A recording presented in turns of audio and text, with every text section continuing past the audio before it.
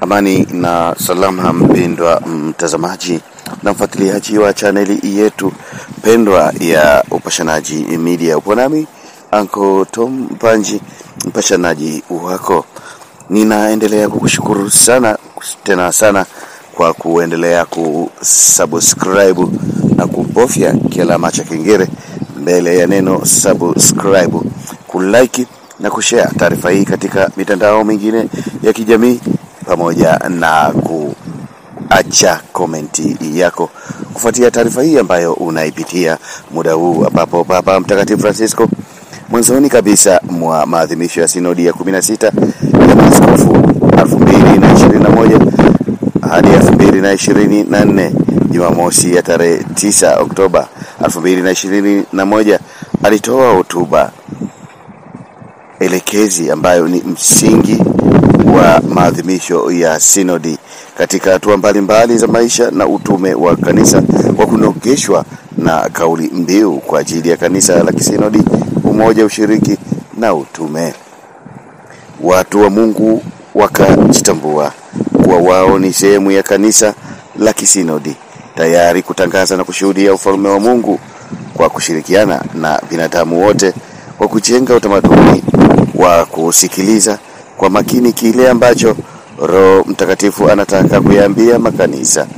Huu ni mwendelezo wa maadhimisho ya sinodi ya 16 ya maskofu iliyozinduliwa kunako mwaka 2021 na kufikia kilele chake Dominika tarehe 27 Oktoba 2024 kwa ibada ya misa takatifu iliyoadhimishwa kwenye kanisa kuu la Mtakatifu Petro mjini Vatikani. Mababa wa sinodi Jumamosi ya tarehe 26 Oktoba 2024 walihitimisha mapendekezo ya hati ya mwisho ya sinodi ya kumi na sita ya maaskofu, ushuhuda wa hija ya pamoja ya maadhimisho ya sinodi ya maaskofu, changamoto na mwaliko wa kujenga na kudumisha utamaduni wa kusikiliza ili hatimaye kuweza kuwachunga na hatimaye kuwaimarisha waamini katika imani yao kwa Kristo Yesu na kanisa lake. Dhamana na wajibu wa halifa wa Mtakatifu Petro ni kutunza na kuendeleza amani, tulivu, utulivu na mshikamano wa kikanisa licha ya matatizo, changamoto na fursa mbalimbali zinazoendelea kujitokeza kwenye makanisa mahalia, ili hatimaye watu wote wa Mungu waweze kushiriki katika kalamu, kielelezo cha umoja na ushirika wa watu wa Mungu kama ilivyokuwa kwenye sherehe ya Pentekoste ya mwanzo, watu walipoanza kuzungumza kwa lugha nyingine kama Roho Mtakatifu alivyowajalia kutamka. Baba wa Mtaguso Mkuu wa Pili wa Vatikani wanasema kanisa linalosafiri duniani kwa tabia yake ni la kimisionari, limetumwa na Mwenyezi Mungu kwa mataifa yote ad gentes, ili liwe sakramenti ya wokovu kwa wote, sanjari na kutangaza pamoja na kushuhudia habari njema ya wokovu. Kumbe ni wajibu wa waamini kuendeleza kazi hii ili neno la Mungu liendelee kutukuzwa na ufalme wa Mungu utangazwe na kusimikwa duniani kote. Rejea Ad Gentes moja. Baba Mtakatifu Francisco anasema huu ni mwaliko, huu ni wito kulitangaza neno la Mungu bila kuliwekea vizingiti, kulifungulia malango ya maisha bila kuliwekea kuta, ili huruma, upendo na neema ya Mungu iweze kuwafikia watu wote. Maadhimisho ya sinodi ya kumi na sita ya maskofu yalianza kwa kuomba toba na uongofu wa ndani, kwa kuona aibu na kwamba waamini wote wanafaidika na huruma ya Mungu. Hati ya mababa wa sinodi ya kumi na sita ya maaskofu ni mwaliko kwa watu wa Mungu kujifunza kuimwilisha, kuipenda, kuiadhimisha na kuikumbatia ili wote uweze kujazwa na fadhila ya upendo kwa Mungu na jirani. Katika hati hii kuna maamuzi yanayopaswa kufanyiwa kazi ili kanisa liendelee kuwa ni shuhuda wa amani kwa kujifunza kuishi katika hali ya utulivu kwa kuheshimu na kuthamini tofauti msingi zinazojitokeza miongoni mwa watu wa Mungu. Ni katika muktadha huu Baba Mtakatifu Francisco anasema hana mpango wa kuchapisha wosia wa kitume mara baada ya maadhimisho ya sinodi ya 16 ya maaskofu kwa sababu hati ya mababa wa sinodi ina sheheni dira, mwongozo na mwelekeo wa maisha na utume wa kanisa katika sehemu mbalimbali za dunia katika hali na mazingira mbalimbali. Baba Mtakatifu Francisco amewakabidhi watu wa Mungu hati ya mababa wa sinodi ya 16 ya maaskofu ili ichapwe na kusambazwa. Baba Mtakatifu Francisco anasema hii inaonyesha dhahiri dhamira yake ya kudhamini mchakato wa maadhimisho ya sinodi ya maaskofu ulioanza tangu mwaka 2021. Tume mbalimbali zitaendelea kutekeleza dhamana na wajibu wake kwa uhuru kamili ili hatimaye kutoa ushauri kwa harifa wa Mtakatifu Petro, lakini huu pia ni mchakato unaopaswa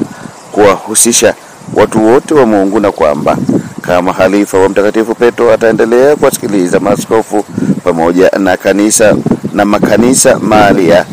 wanayoyaongoza. Baba Mtakatifu Francisco anakiri kwamba huu ndio mwelekeo sahihi wa kufikia maamuzi kisinodi kwa kujenga utamaduni wa kusikiliza, kufanya mang'amuzi, kuamua na hatimaye kufanya upembuzi yakinifu. Ili kuweza kufikia hatua hii, kuna haja kwa watu wa Mungu kujikita katika kimya, kusimama, kusali na kwa kumsikiliza Roho Mtakatifu, kwa kutambua kwamba kuna umuhimu wa kufanya toba na uongofu wa ndani. Baba Mtakatifu Francisco anakaza kusema sekretariat kuu ya sinodi za maskofu pamoja na sekretariat kuu ya Vatikani watamsaidia ili aweze kutekeleza vyema dhamana na wajibu wake. Hati ya mababa wa sinodi ya kumi na sita ya maskofu ni zawadi kwa watu wote wa Mungu katika utofauti wao. Huu ni mwaliko kwa mababa wa sinodi kuhakikisha kwamba hati hii inasomwa kwa watu wote wa Mungu katika majimbo yao, na wao wawe ni vyombo na mashuhuda wa uzoefu na mang'amuzi ya maadhimisho ya sinodi ya kumi na sita ya maaskofu, ili watu wa Mungu waweze kutambua thamani ya hati hii katika maisha na utume wa kanisa.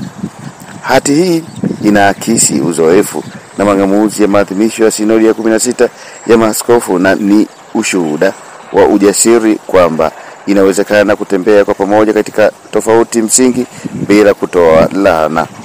Wajumbe wa sinodi ya 16 ya maskofu wanatoka sehemu mbalimbali za dunia ambazo zimeguswa na kutikiswa na vita, umaskini na utandawazi usiojali wala kuguswa na mahangaiko ya wengine. Wajumbe wakiwa wameungana kwa pamoja katika tumaini lisilodanganya, wanaendelea kuwa na ndoto pamoja na kujikita katika mchakato wa kutafuta amani, kwani amani kimsingi ni chimbuko la utamaduni wa kusikiliza kwa makini, kujadiliana katika ukweli na uwazi na hatimaye ni upatanisho. Kanisa lenye huruka ya kisinodi kwa ajili ya maisha na utume wa kanisa linahitaji mshikamano unaomwilishwa katika matendo, na kwamba hii ndiyo hija ya kisinodi. Hati hii ni zawadi ya Roho Mtakatifu anayelijalia kanisa kuwa na amani na utulivu, changamoto na mwaliko wa kuendeleza umoja na ushirika hata baada ya maadhimisho ya sinodi ya maskofu, tayari kuwashirikisha wengine uzoefu na mang'amuzi ya maadhimisho haya, kwani Roho Mtakatifu anaendelea kutenda kazi sehemu mbalimbali za dunia. Baba Mtakatifu mwishoni mwa hotuba yake amewashukuru viongozi wakuu wa sekretariat kuu ya sinodi bila kuwasahau wale wote ambao hawakuonekana hadharani, lakini wamefanya kazi kubwa ili kuwezesha kufanikisha maadhimisho ya sinodi ya 16 ya maskofu iliyonogeshwa na kauli mbiu kwa ajili ya kanisa la kisinodi, umoja, ushiriki na utume. Na mpendwa mtazamaji na mfuatiliaji wa chaneli yetu pendwa na ya nguvu kabisa ya Upashanaji Media, kifupi U Media, upo nami Ankoto Mpanji, mpashanaji wako, nikiendelea kukushukuru kwa kusubscribe na kubofya ama kubonyeza kila cha kengele mbele ya neno subscribe. saruti sana kwa kulike na kushare taarifa hii unayoipitia katika mitandao ama magrupu mengine ya kijamii, na ninakumwagia maua yako mengi sana kwa kudondosha komenti yako. Sina la ziada, asante na kwa